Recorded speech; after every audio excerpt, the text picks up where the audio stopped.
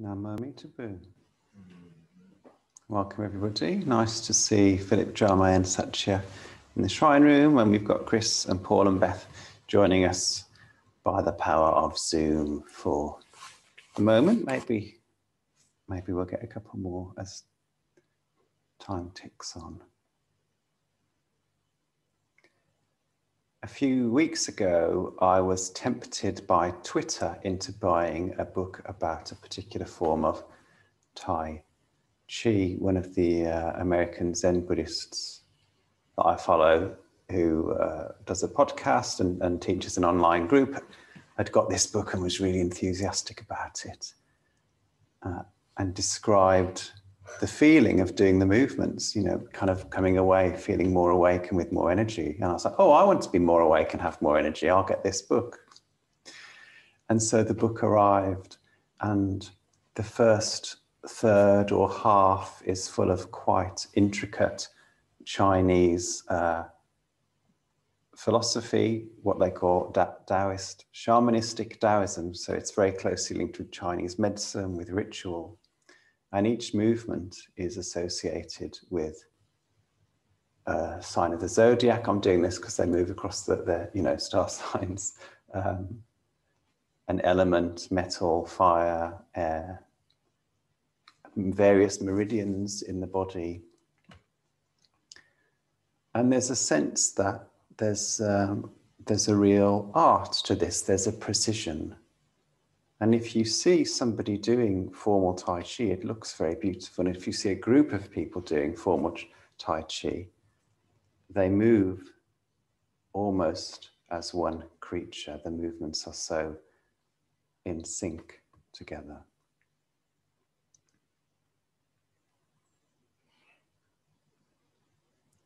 It's quite difficult to learn that from a book I discovered. Um, the person tweeting about it is learning one movement a week from copying the photographs.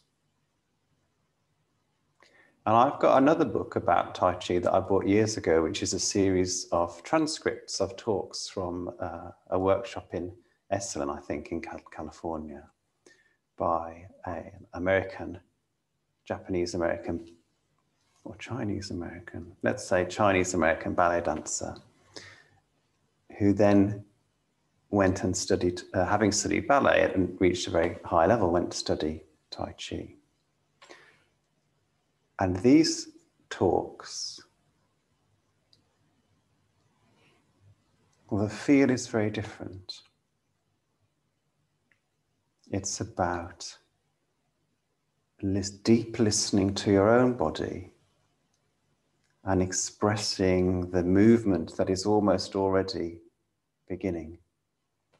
So he sort of suggests some things to people as they're warming up different ways of moving the body to, to kind of get them used to the different ways that your arms and legs and hips and various joints can move.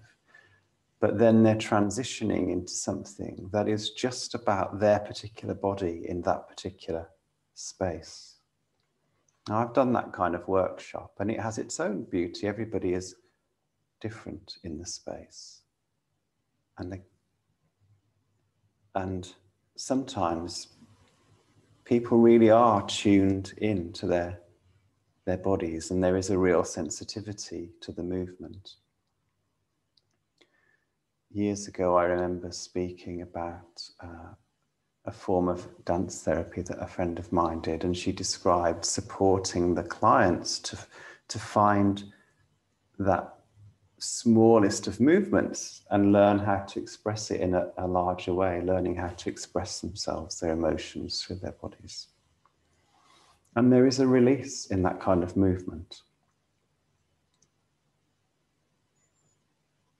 And in the first kind of practice, the formal practice where everything is very prescribed, and something about that reminds me of uh, traditional Japanese Buddhist training where you light the incense in this way and you make the offering, other offerings in this way and you sit exactly in this position and you move through the shrine room in this way and so on and you eat your food in this way and you wash your bowl in that way and this is how you do the cleaning everybody's doing it in the same way those traditional forms can also evoke a certain sort of feeling and spirit. When I was working um, with community theatre and in my, my drama degree, there's kind of two ways of evoking a performance from an actor. One is to invite them to listen to their emotions and, and to kind of really feel what the character is feeling. And naturally, when they do that, some expression moves across their face and their body changes shape. And the other is to suggest a physical shape for them to put their body in. And when we put our body in a particular shape, it evokes a particular feeling. This kind of mirrors these two styles of teaching.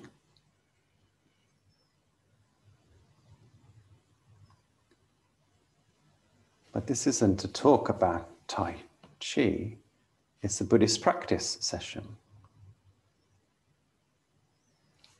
And both of these styles are present in Buddhism. You go to, you know, like I described the Japanese monastery, you get that kind of style. You go to maybe a, a Shambhala class and the cushions are all scattered in different places on the floor, very different feeling. And both have some merit to them.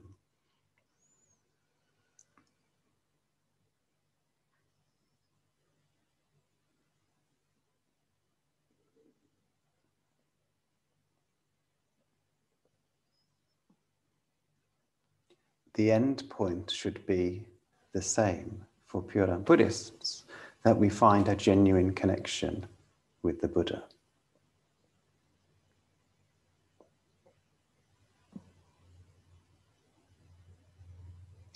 And we might do this by copying what the old masters did, saying 40 to 60,000 Nembutsu a day, as Honen suggested. Well, that worked for Honen, so I am going to do that. Well, the Buddha did lots of meditation, so I will do lots of meditation. And there's a real validity in that when we follow the forms of the old masters, sometimes we catch what they caught.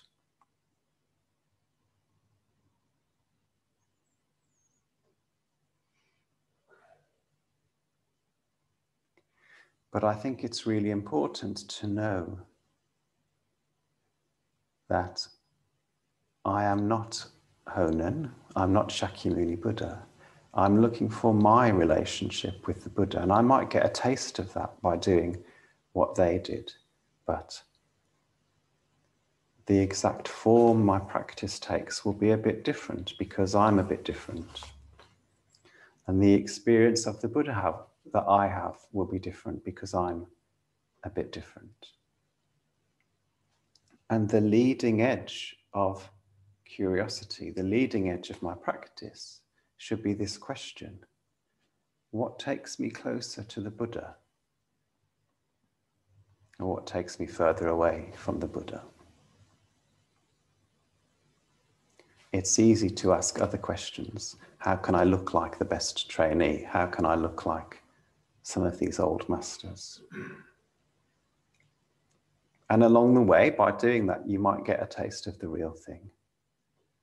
But if we keep coming back to this question, how do I get closer to the Buddha?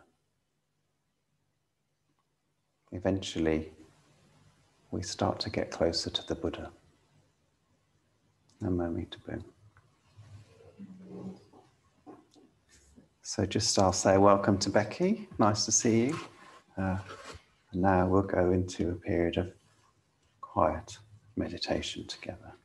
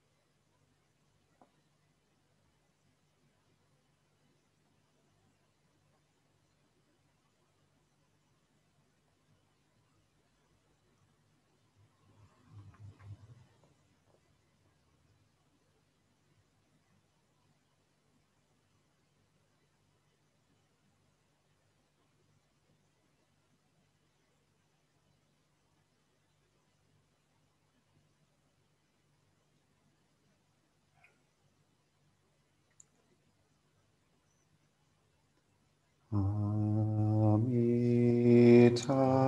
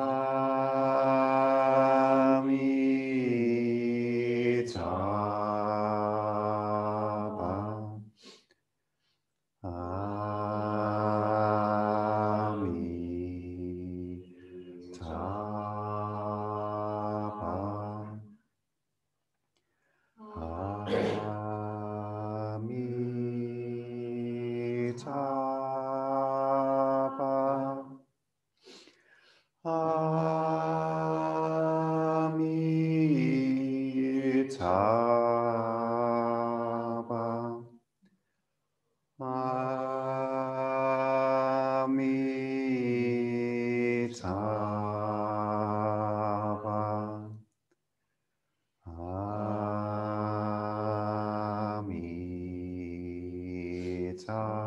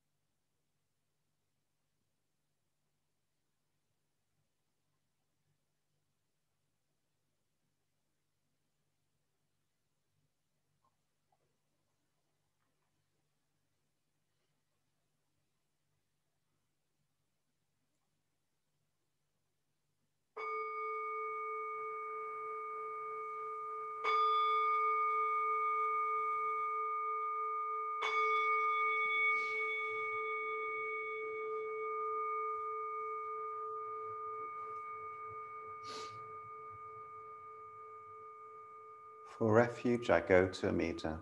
For refuge, I go to Amida. Namo Amitabhaya. Namo Amitabhaya. For refuge, I go to the Buddha. For refuge, I go to the Buddha. Namo Buddhaya. Namo Buddhaya. For refuge, I go to the Dharma. For refuge, I go to the Dharma. Namo Dhammaya. Namo Dhammaya. For refuge, I go to the Sangha. For refuge, I go to the Sangha. Namo Sanghaya. Namo Sangha. With faith in the three jewels, With faith in the three jewels, I pray that I may not take life. I pray that I may not take life. With faith in the three jewels, With faith in the three jewels, I pray that I may not steal. I pray that I may not steal. With faith in the three jewels, With faith in the three jewels, I pray that I may not fall into sexual misconduct.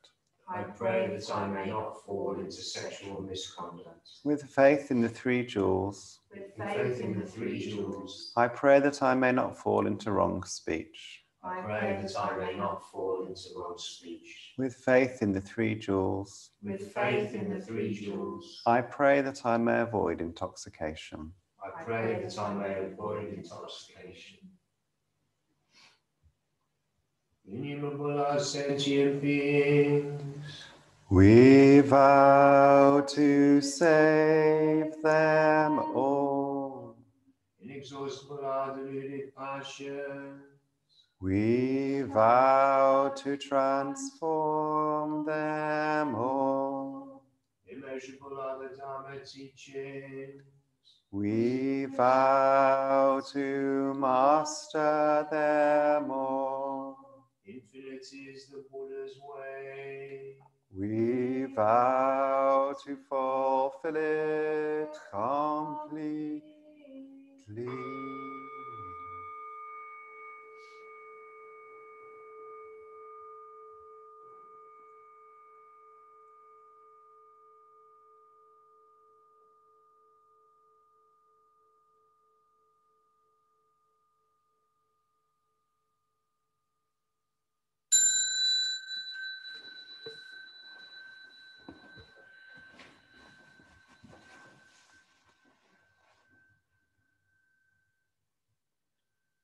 Namo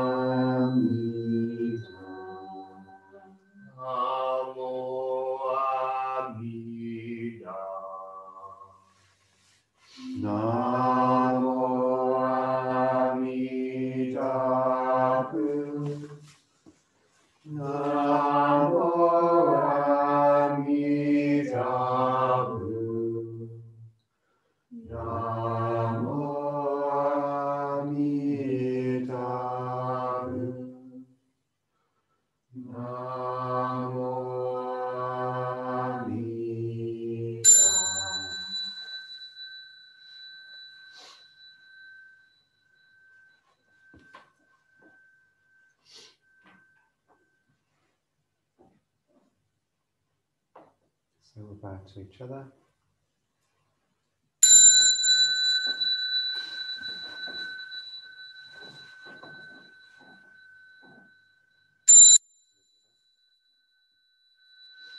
Tie down our seats without our seats.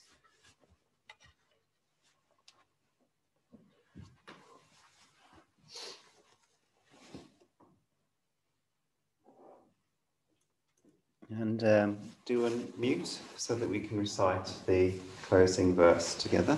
I'll make sure there's some volume on here so we can hear you. Blessed by Amitabha's light, may we care for all living things on the holy earth. Namo Amida Bu. Thank you, everybody. Amida Bu. And I need to go. I'm going to slip away. That's fine. See you Oh. later.